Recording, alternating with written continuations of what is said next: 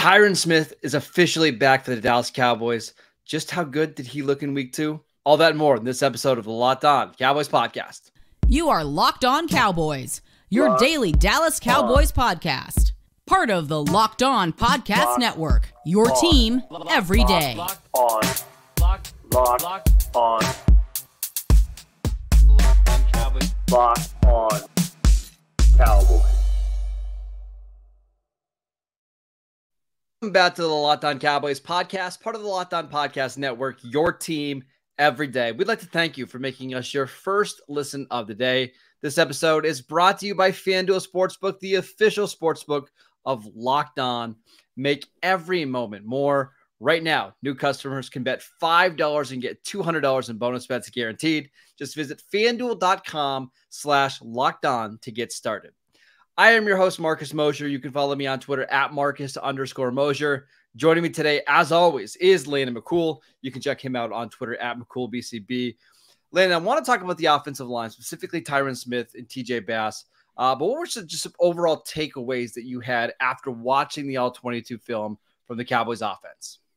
Yeah, I mean, I, I think the key thing to take away there is that you you see a lot of the kind of rhythm and quick passing that that is you know the the calling card of the West Coast offense, and I think having included that into the offense has really made Dak look very confident. The, the, the play calling seems not as flashy as last season, but everything has more purpose. Uh, specifically, like stuff like that third and short against uh, uh, that they had, like they they just you know were going up as early in the game.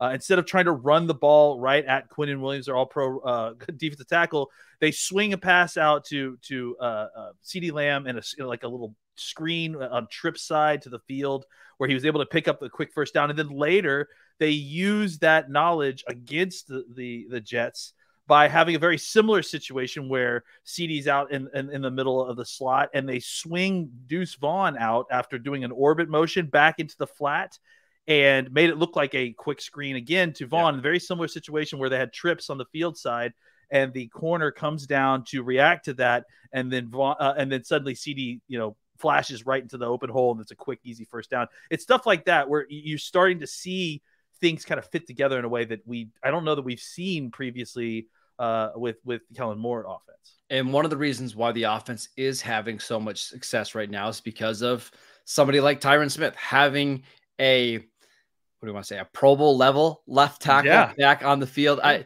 he was absolutely incredible. It, this looks like the 2016, 2017, yeah. 2018 version of Tyron Smith. It, it just looks cleaner. He looks more comfortable. He's not fighting against his body. I mean, he's just everything looks smooth and comfortable. And that's you know that's kind of the thing with with Tyron is that he's such an incredible athlete, right? Like that.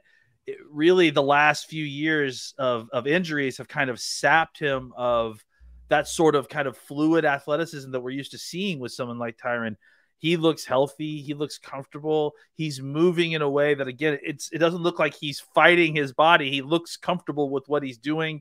Uh, it yeah, it's like turning back the clock with Tyron Smith. It's it's been incredible so far. Yeah, we, so we got some major knocking on wood going on right oh, now, yeah, given sure. Tyron yeah. Smith's uh, injury history. However, I will say this is probably one of the longest stretches that we've gone now without him having a major injury, right? Because he played, was it three games at the end of last year in the regular season at right tackle, two games in the playoffs at right tackle. He was healthy all off season. Did get a little bit banged up in training camp a couple times, but nothing serious.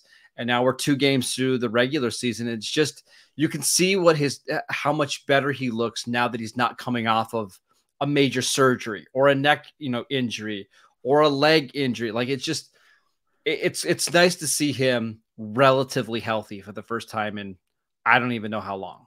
Well, and it's not even just about being healthy enough to play in the games. It's about being healthy enough to practice. Like getting in and being able to get yeah. all those reps to get ready for for the season. He just looks more in sync with what he was doing than he has well, previously. And know? there's there's I don't even know how to explain it correctly, but there is this thing like the more that you play football, the more durable you end up yeah. getting, right? Because you're you're used to the pounding uh, on the offensive line, you get used to the physicality.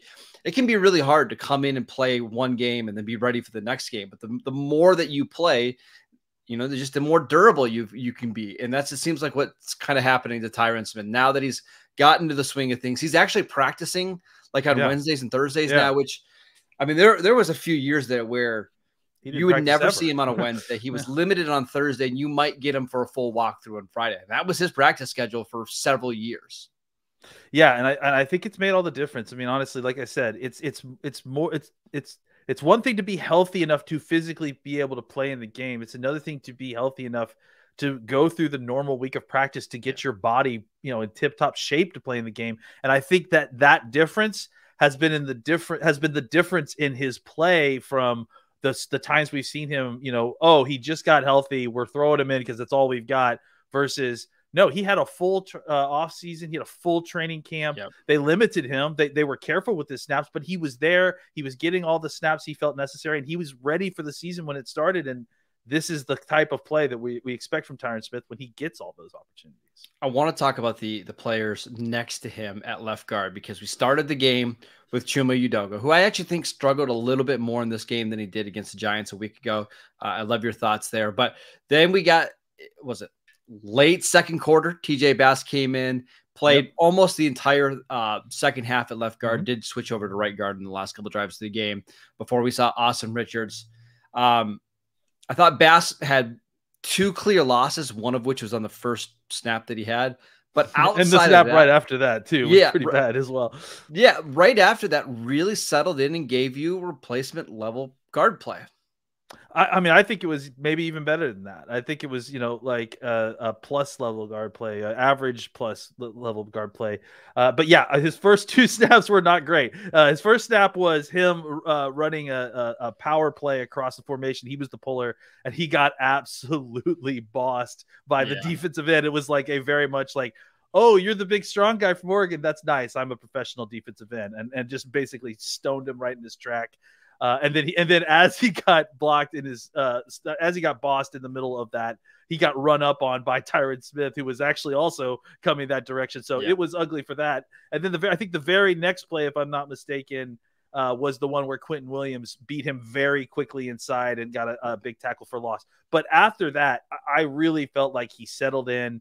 Uh, he, I mean, you know, he looked comfortable. He looked uh, uh, powerful, uh, and, and was you know a part of of the of a run game that was getting good push. I had a couple different clips I saw where he was you know getting to second level guys and, and, and sealing them off, pushing guys uh, back a little bit.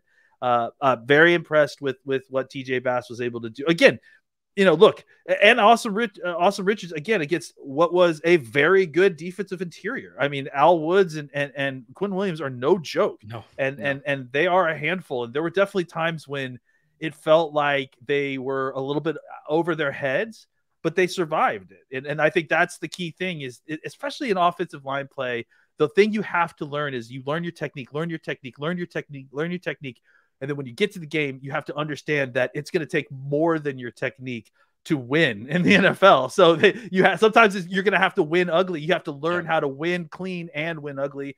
And I think we saw a little bit of both with TJ Bass. One of the reasons why we spend so much time talking about these backup offensive linemen is because they can be the difference in winning and losing games, especially when you get later in the year Yeah. when injuries start to mount up. And it's just what happens in the NFL. Like you've got to be able to sustain injuries.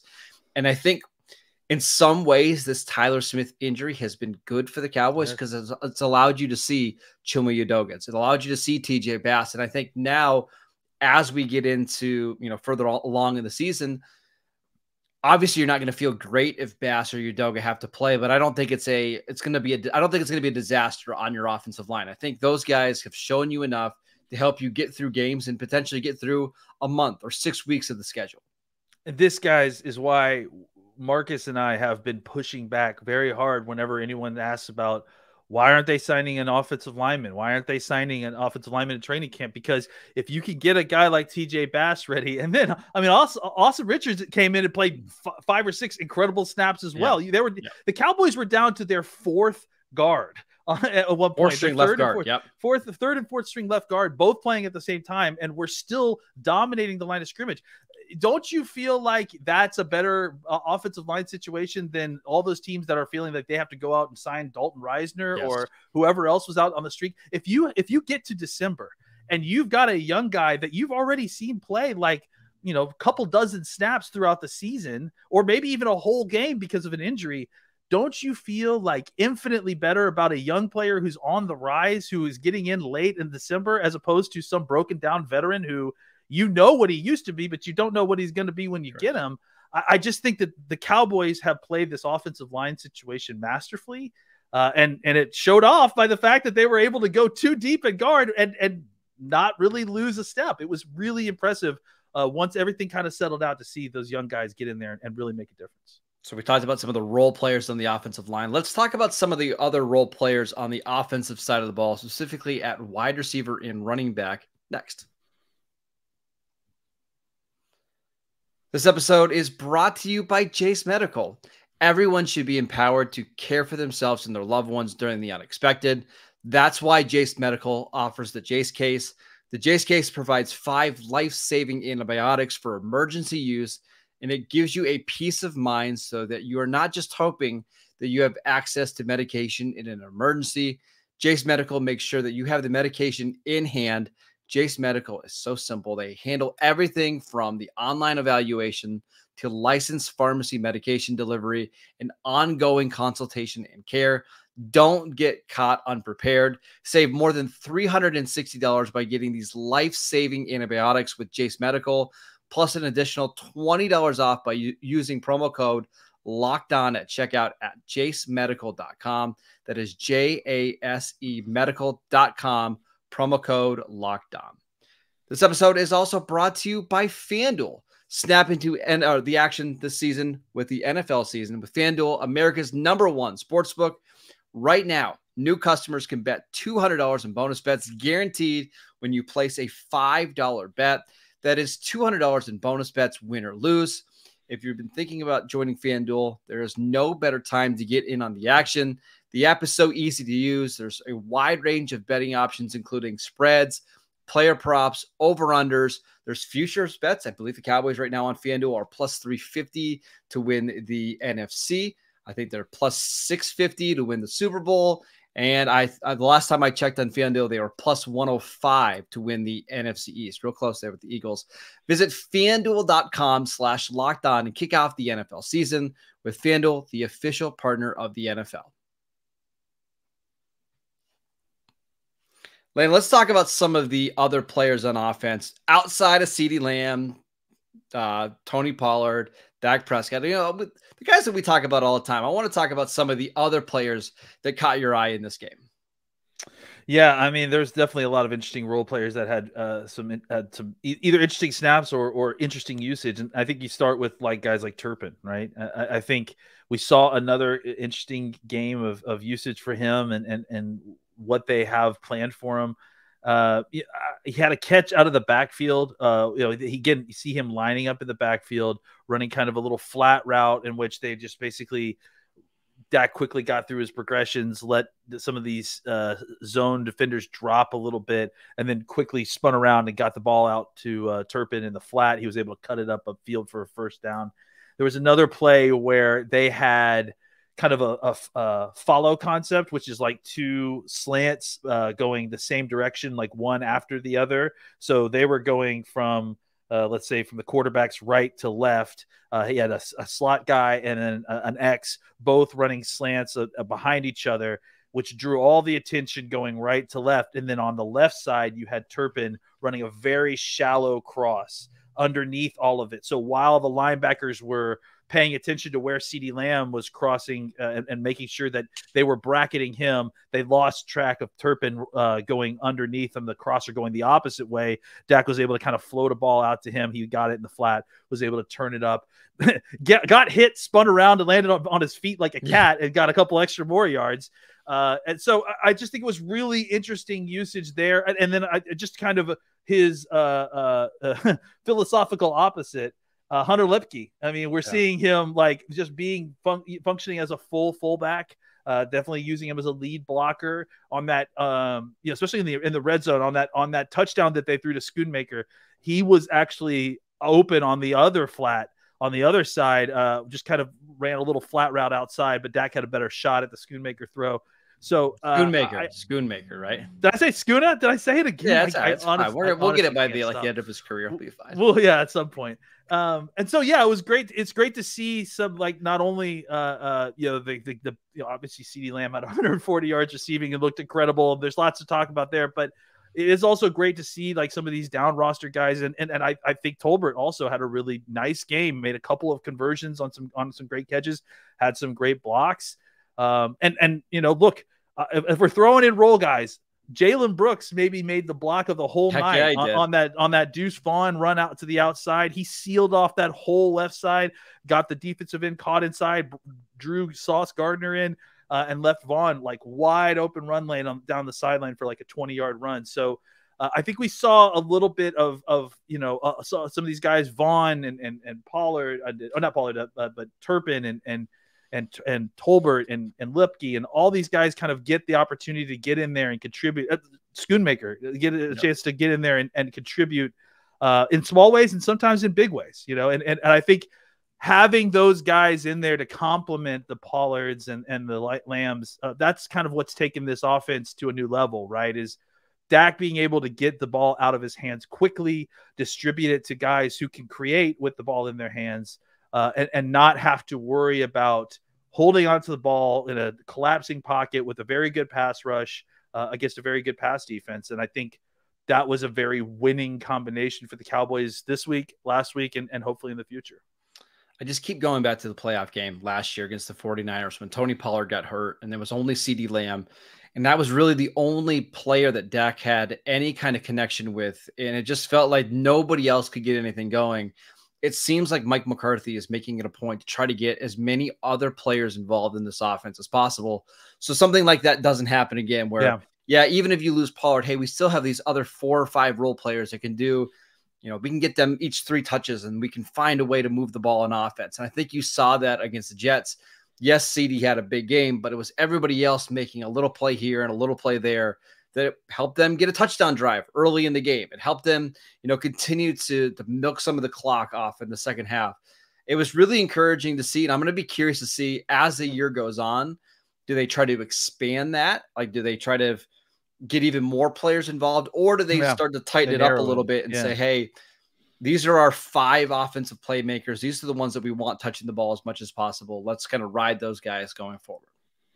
Yeah, and I just want to throw in one more name too, another familiar name that that you know, kind of as the season will go on, I bet we'll start getting more and more looks, and, and that's Gallup. You know, he he didn't get a ton of uh, action in this game, but there were two or three different times when he was open, and and like Dak just didn't couldn't get the throw, including one that was a very clear touchdown. And he had, I mean, he's playing well. Like when he got his opportunity, that one catch he had was out outrageous. He made that Yeah. that one catch where he made the the catch behind him, was able to k- maintain his balance and then leap himself over the over the first down marker, uh, all while you know staying off the ground. He Uh, had so- Sauce on him a lot in that game, and I just don't Yeah. think the Cowboys wanted to challenge Why? Sauce one on one if they didn't have to. Yeah, and and it made sense. Like, uh, it, and again, I- I just wanted to point that out because going back and watching the tape, I, I didn't. It wasn't that he wasn't getting open at times, and I, I agree he was dealing with Sauce a lot, uh, but he was getting open. But I think it was, you know, the the, the ball was getting out to other folks, and the, the, Dak just wasn't looking his way as much. I will say the only other thing that I would be a little bit critical of the offense in this game is I don't think you can give Tony Pollard 32 touches a game. That was way too many touches in a blowout. Not really a blowout. That's that's not fair. In a game that you are controlling most of the time, I would have loved to see more of Rico Dowdle. I thought Dowdle looked really good, especially whenever you get him out in space. Yeah. I, I'm sure the Cowboys are going to be cognizant of that going forward. And there's just no way that Pollard's ever going to have a game this year where he has more touches than that. I just want to see more Rico Dowdle because it seems like the more chances that you give him to make plays, the more that he flashes. Yeah, and the last thing before the last thing I'll just want to nitpick about before we get to the defense is, uh, you know, I think there is some stuff to clean up in the red zone, but I don't think it's structural problems. It felt like Just it was a lot of stuff. one. Yeah, it felt like each drive had at least one negative play that set them back to uh, to a point that they couldn't overcome. And, and the Jets defense was very stout in the red zone. There's- just give them some credit too. Yeah, I and I one of the things that I've noticed so far is it doesn't seem like the Cowboys are interested in doing any kind of quarterback sneaks with Dak Prescott at all because they had several third and short, fourth and short opportunities, including a goal, you know, a couple different times where they were at the one yard line where they just didn't even bother trying to do a quarterback sneak. And it felt like, hey, if you wanted to do that, you could, there's, you're not going to lose yards. Yeah. It's pretty low risk play, but it doesn't seem like Mike McCarthy has any interest in putting Dak Prescott in harm's way, at least early in the year. Yeah, not in that sense. They'd much rather get him out in the in the in space where if he needs to, he can run out of bounds, or if he can slide, he can slide. Uh, the problem with the QB sneak is that you really do expose your quarterback to cheap shots.